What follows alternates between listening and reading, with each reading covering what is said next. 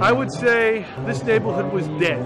And after I had left, there's been a revitalization, I guess, over the last 30 years. And do you know what's amazing? You see adults on bicycles. When I was a kid, only teenagers and children were on bicycles. Now adults are on bicycles. They had to put more lights out, lights on to regulate the traffic. They changed the factories into, into uh, co-ops and condos. Uh, deal where my mother lives on Dobbin Street. They, they, took a factory, they made it into a nice bar and grill. I mean, it's beautiful. A lot of people come from all over the country. It's not the way it used to be where it was just all Polish or uh, there were areas that were Italian or Spanish. Now it's a complete mix. When I moved here first 12 years ago, uh, this area looked completely different. It was pretty dull and sad. I think that maybe even Polish people were ashamed of uh, this neighborhood. This used to be a really a blue collar neighborhood, and we used to be a very close knit community. Actually, I remember Greenport like 25 years ago. Comparing to today, it's getting better and better. It's changing for better and better.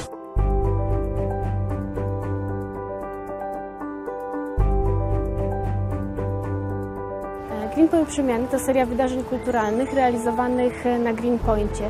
W ramach naszego projektu zrealizowaliśmy serię warsztatów dla młodszych i starszych, serię pokazów filmowych, koncertów. Zrealizowaliśmy również wydarzenie sąsiedzkie, Festiwal ulicy, tutaj nieopodal na Leonard Street. The events are connected to the Polish culture and history, literature.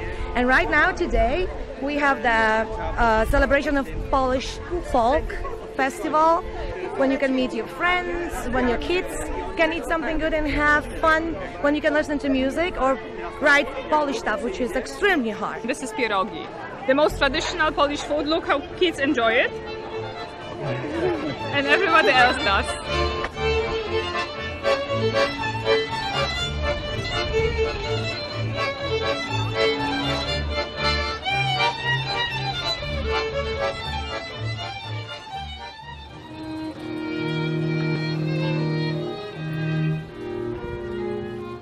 You got a lot of Polish people here, you know.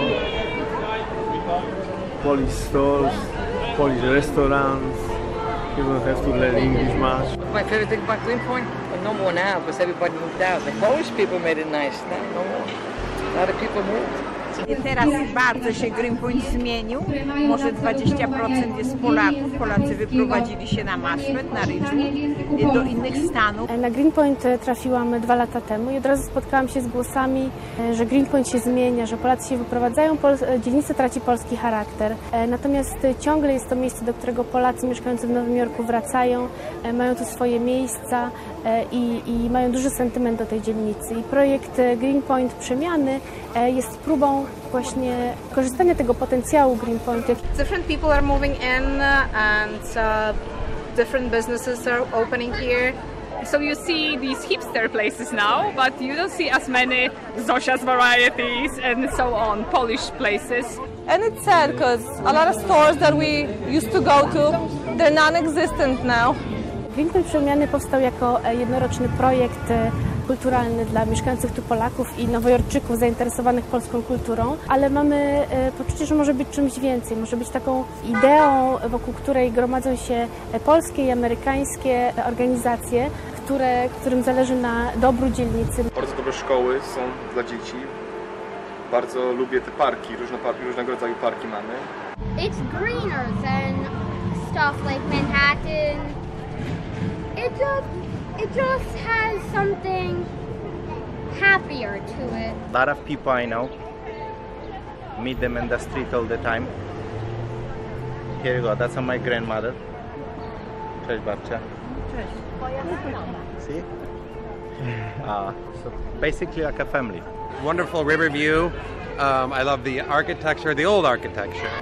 And I love I love everything about Greenpoint. Well, actually, I don't have a favorite thing because I love I love Greenpoint. It's a nice community. I like the food. I like the food. Oh, you like karczma? Yeah, I like karczma. Mamy nadzieję, że za rok będzie tak samo. Super. Pozdrawiamy. So I live and work here. It's the best place. As long as the people are gonna be smiling to each other, it's it's fine, you know.